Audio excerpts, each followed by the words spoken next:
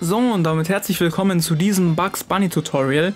Als allererstes werde ich euch zeigen, welche Vorteile ihr auf Bugs Bunny mitnehmen müsst. Anschließend zeige ich euch noch äh, die ganzen Fähigkeiten von Bugs Bunny und zum Schluss noch ein oder zwei Kombos, die ihr mit Bugs Bunny eigentlich jede Runde ganz gut eigentlich ausführen könnt, ohne dass ihr wirklich viel mit Bugs Bunny, sage ich mal, können müsst. Bugs Bunny ist von der Klasse her ein Mage, wie wir hier sehen können. Er hat die Klasse äh, Magier, ihr könnt es oben rechts an seinem, an seinem kleinen ähm, Abzeichen da erkennen. Der hat da hier so einen Kometen drauf. Und das heißt, dass er halt ein Magier ist von der Klasse her. Ist wirklich ein super solider Charakter, würde ich jedem ans Herz legen. Ähm, ist am Anfang vielleicht ein bisschen schwierig zu spielen, aber wenn man den ein paar Mal trainiert hat, geht das eigentlich wirklich sehr, sehr gut. Ich habe den jetzt in der Preseason sehr, sehr oft gespielt und ist wirklich einer meiner Lieblingscharakter. Ähm, von den Perks würde ich auf jeden Fall Verweilende Liebe mitnehmen, hier als Hauptperk. Den schaltet ihr ein bisschen später frei, solange müsst ihr halt Lass mich durch Dock nehmen, ist aber recht irrelevant, diese Fähigkeit, finde ich. Da ist wirklich Verweilende Liebe deutlich besser, kann wirklich ein Gamechanger sein, diese Fähigkeit. Die würde ich wirklich immer mitnehmen. Also ist wirklich die Main-Fähigkeit, finde ich. Ähm, hier bei den kleinen Perks könnt ihr euch wirklich aussuchen, was ihr nehmt, je nachdem, worauf ihr halt mehr Bock habt. Ich nehme hier auf jeden Fall den Dreifachsprung immer mit. Der ist wirklich sehr, sehr strong. Die anderen beiden könnt ihr euch wirklich aussuchen, je nachdem, was ihr gerne habt. So, ich zeige euch jetzt mal ganz kurz die Fähigkeiten von Bugs Bunny. Wir fangen mit seinen neutralen Attacks, mit den Viereck-Attacken mal ganz äh, simpel an.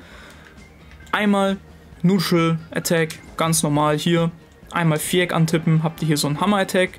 Den könnt ihr auch aufchargen und habt dann einen stärkeren Angriff. Der ist eigentlich super gut, um den Gegner aufzufinischen. Äh, wenn der Gegner schon viele Prozent hat, könnt ihr ihn damit auch super gut von der Map stoßen. Ist wirklich eine sehr, sehr starke Fähigkeit. Ähm, dann haben wir hier noch die seitliche Vierecksfähigkeit, die seitliche neutrale Fähigkeit, indem wir hier ne, einfach Joystick in eine gewisse Richtung drücken und dann Viereck. Dann habt ihr hier so eine Reihe an Schlägen, die Bugs Bunny ausführt, die leuchten auch äh, lila und das bedeutet dann, dass er damit halt die Armor vom Gegner breaken kann, wie ihr sehen könnt. Hier habt ihr dann so einen Buff, beziehungsweise der Gegner einen Debuff, was wirklich eine super solide Fähigkeit ist. Ihr könnt die auch aneinander rein, zack, zack, bam, dann habt ihr hier so eine schöne kleine Combo, die ihr dann machen könnt. Dann haben wir noch Jump, Viereck nach oben. Habt ihr hier so einen Baseball-Attack, der auch wirklich super gut ist, um die Gegner von der Map zu knocken. Dann haben wir noch hier einen schönen Jump, seitlichen Attack, den ihr chargen könnt. Jump, wieder zur Seite drücken, Viereck chargen. Wir können den Joystick nach oben drücken und Viereck gedrückt halten. Zack, haben wir hier so einen Kick nach oben und können damit die Gegner auch sehr gut off-finishen und sie nach oben kicken. So, dann haben wir noch die Fähigkeit, indem wir nach unten und Viereck drücken. Das ist eine besondere Fähigkeit von Bugs Bunny. Er holt hier diesen Kuchen raus, den er dann ready hat. Und wenn ihr dann nochmal nach unten und Viereck drückt, schmeißt er diesen dann. Ihr seht, der Gegner ist dann verlangsamt und äh, kriegt auch eigentlich ganz gut Damage für ein Projektil. Es fliegt halt nur sehr langsam, aber das ist sogar gar nicht mal so schlecht, dass es so langsam ist, weil ihr dann, weil das Projektil dann halt einfach länger auf der Map bleibt, was auch sehr, sehr gut in solchen Games sein kann. Ähm, in einem Duo-Match, wenn ihr dann zusammen mit einem Teampartner spielt und ähm, der Kuchen ihn dann trifft, dann wird der Mate von euch geheilt, was auch sehr, sehr cool sein kann. Dann kommen wir mal zu seinen Spezialangriffen auf Dreieck. Ähm, die sind auch super cool, wenn wir hier Dreieck drücken wird so ein Target auf den Boden gelegt und ein Tresor kommt von oben runter. Den können wir dann auf den Gegner draufkicken. Ganz wichtig, der Gegner kann diesen Tresor nicht benutzen. Nur ihr könnt diesen Tresor äh, rumschubsen, der Gegner kann das nicht. So, ihr könnt diesen Tresor übrigens auch kaputt machen. Wie ihr seht, er bekommt immer mehr Risse, je mehr Schläge wir draufhauen. Und irgendwann mal bricht dieser Tresor halt in sich zusammen und lässt hier so ein Item droppen. Hier so Mi-6, jetzt habe ich es verkackt aufzuheben, aber ihr seht's, es droppt immer wieder ein random Item. Also da kann wirklich alles mögliche drin sein das gibt halt Bugs Bunny so ein bisschen diesen Mage-Faktor. Ihr könnt auch zum Beispiel, wenn ihr einfach nur croucht, also einfach nur die, den Joystick nach unten drückt, macht ihr hier so eine Kiste und könnt da auch ein random Item bekommen. Hat aber alles seine Cooldown, werde ich euch auch gleich zeigen.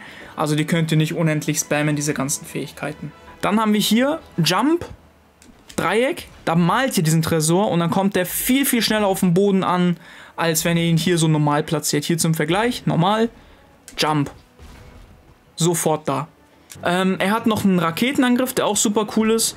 Sprung, Seite, Dreieck, Sprung, Joystick zur Seite, Dreieck.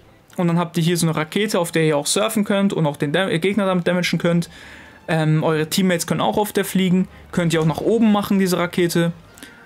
ist eigentlich auch eine super solide Fähigkeit. Die kommt dann auch irgendwann mal wieder nach unten, diese Rakete.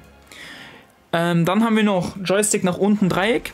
Bugs Bunny macht damit einen Tunnel, springt dann raus auf der anderen Seite. Den Tunnel könnt ihr auch immer benutzen. Auch eure Mates können den benutzen und ihr könnt damit sogar euren Tresor oder die Rakete zum Beispiel durchschicken.